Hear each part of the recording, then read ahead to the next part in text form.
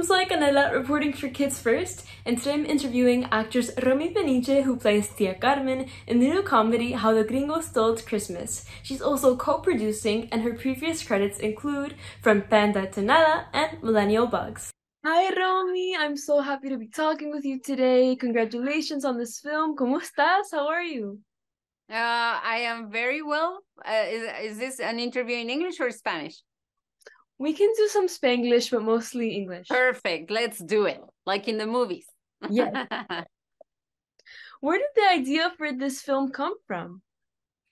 Well, uh, this is actually a script that was written by Ezequiel Martinez, which is a Chicano writer.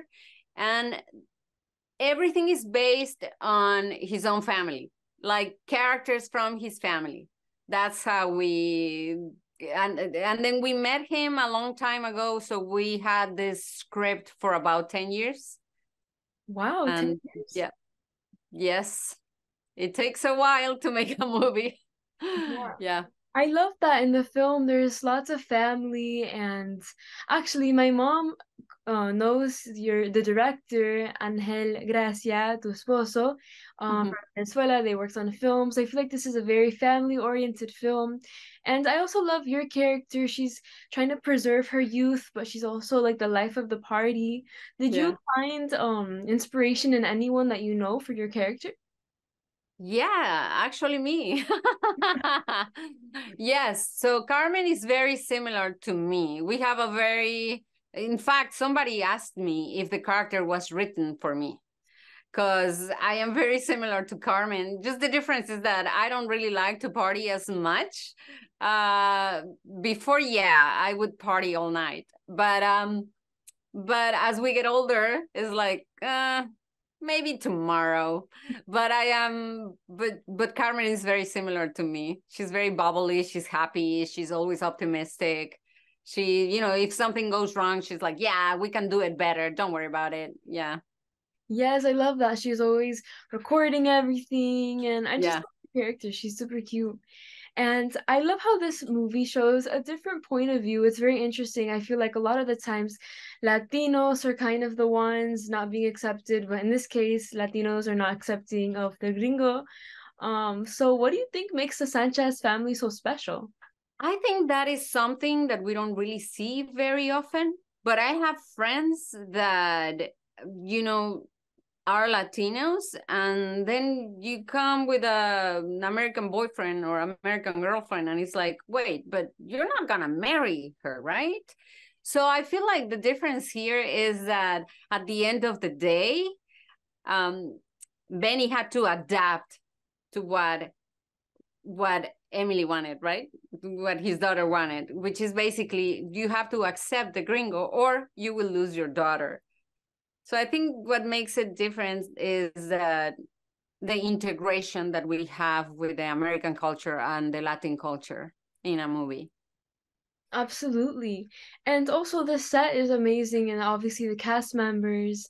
There was Mariana Treviño and George Lopez, who's they're both Mexican, even though George Lopez is from LA, and Emily Tosta, who I actually had the pleasure to interview for another film. So how was it being with all these amazing castmates and how was it on set? Oh my god uh, honestly, it has been one of the best experiences that I've had because somehow Latinos, I don't know if you we feel each other or what, but we have like the same chip inside. It's like, you know, we like certain things like, you know, candy with uh, chile or stuff like that that you don't see in other cultures, especially Mariana, right? Um, and then they were all down to earth super humble very easy to work with. And working with george lopez is like you know he's a master of comedy. So i learned a lot and he's very humble and he helps you on set. He's not he doesn't have a big ego. None of them have big egos none. Yeah, it's really important to be with such a loving and such like a like a cast that's a family in a way. Um, and what was the catering like on set? I want to know, was there tamales or was it I wish. Uh, you see, this movie was uh, shot in Mississippi, and uh, the establishing shots we shot the establishing shots in LA, but everything else was in Mississippi. So the food was very southern kind of uh, cheesy like American. so it wasn't Mexican at all. Interesting. Mm-hmm. Yeah, I expected there to be like, I don't know, the candies with the chile and stuff. Well, we had that because we actually because I am also producing on on this movie, so we went to get candy for the set.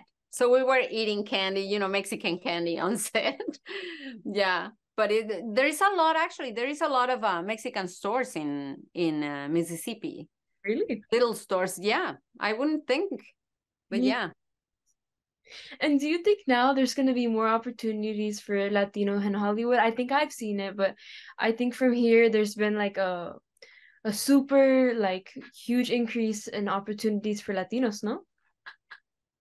In Hollywood. Totally. I feel like yeah, thanks to, you know, actresses like Sofia Vergara or uh, Eva Longoria or all these actresses, George Lopez also, you know, all these Latinos that have been pushing the opportunities for actors on camera um, had helped us to be in this position right now.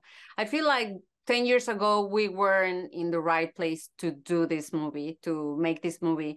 Now we are in the right place to make this movie and to make more and i hope this serves for um, a jump start for more opportunities for latinos and latinas in this industry. Yes i couldn't agree more.